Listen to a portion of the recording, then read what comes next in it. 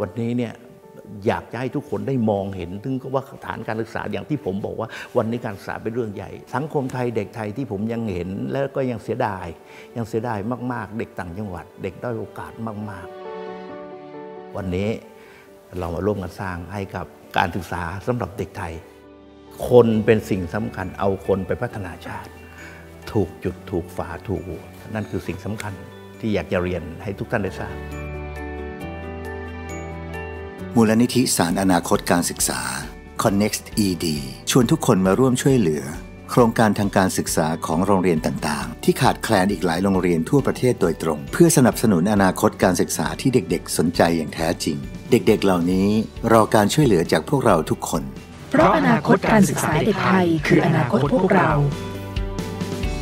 ร่วมสนับสนุนที่ connected.org